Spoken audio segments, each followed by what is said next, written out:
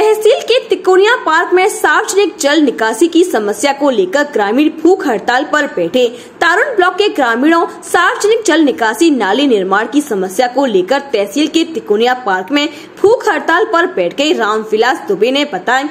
उच्च अधिकारियों के आदेश के बाद भी अब तक कोई कार्य नहीं किया जा रहा है। उन्होंने बताया कि नाली निर्माण का कार्य सार्वजनिक हित में है और सार्वजनिक कार्य होते हुए भी कार्य न कराया जाना मानवीय संवेदना का तिरस्कार है, जिससे नाराज़ होकर हम जब तक नाली का निर्माण नहीं हो जाता तब तक भूख हड़ताल पर बैठे रहेंगे।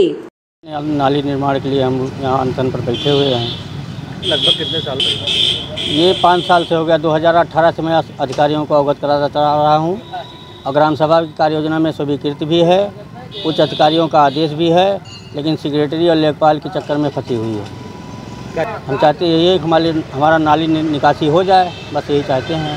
हमने जिलाधिकारी महोदय को दिया हमने उप जिलाधिकारी महोदय भीकापुर को दिया हमने खंड विकास अधिकारी महोदय को दिया मुख्य विकास अधिकारी महोदय को दिया मान को दिया। ये तो बस निचले स्तर के अधिकारियों को आर्डर कर दिए हैं कोई सुनवाई नहीं करता ऑर्डर की। क्या नाम आपका? रामविलास दुबे। वधु सूट और साड़ी एक ऐसा शोरूम जहाँ मिलते हैं आपको बेहतरीन डिज़ाइनर कपड़े जो चर्चित हैं। अपने डिज़ाइनर सूट और साड़ी के लिए मथुरा शहर में शीघ्र पधारे वधु सूट साड़ी और किड्स वियर कृष्णा नगर मंडी चौराया मथुरा।